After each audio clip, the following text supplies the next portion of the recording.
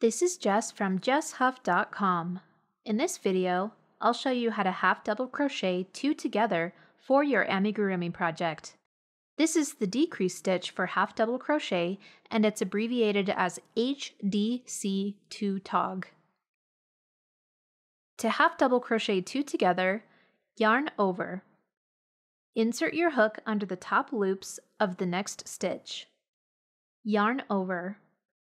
Pull the yarn through the stitch to draw up a loop. Then we're going to repeat those three steps again. Yarn over. Insert your hook under the top loops of the next stitch.